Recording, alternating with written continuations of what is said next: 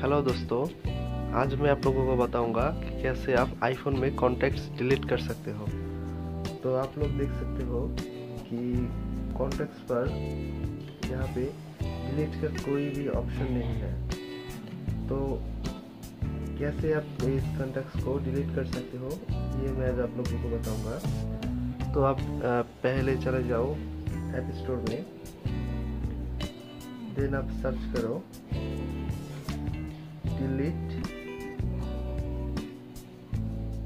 contacts plus आप लोग देख रहे हो? इस डिलीट कॉन्टेक्ट्स प्लस पर क्लिक करो देन आप इसे डाउनलोड करो।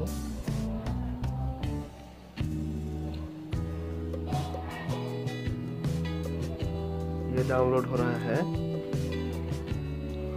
आप लोग देख सकते हो कि मेरे ये ऐप डाउनलोड हो गए हैं। तो अब मैं इसे ओपन करूँगा। अब मैं इसे ओपन करने के बाद मैं यहाँ पे ऑल कॉन्टैक्ट्स पर क्लिक करूँगा। यहाँ पे 210 कॉन्टैक्ट्स है। तो अब मैं जो कॉन्टैक्ट्स को डिलीट कर करने चाहते हो आप तो जस्ट इस पर सिलेक्ट करो एंड देन यहाँ पे डिलीट बटन पे क्लिक करो। वो डिलीट हो जाएगा। और अगर आप इसे ऑल पर क्लिक करोगे तो सारे के सारे सेलेक्ट हो जाएगा। देन इस डिलीट पर क्लिक करने के बाद वो डिलीट हो जाएगा। तो हम एक डेमो देखते हैं।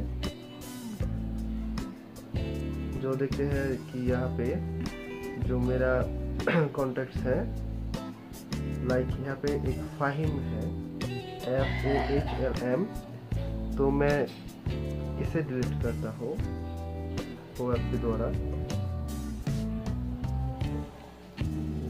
पर सर्च करता हूँ तो ये आ भाई ये देख सकते हो आप। इसे अगर मैं डिलीट करता हूँ।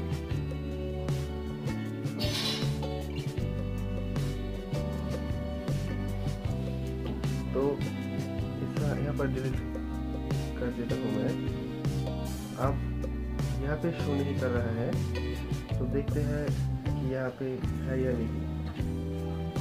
अब देखते देख रहे हो कि यहाँ पे वो कॉन्ट्रैक्ट्स अब नहीं रहा।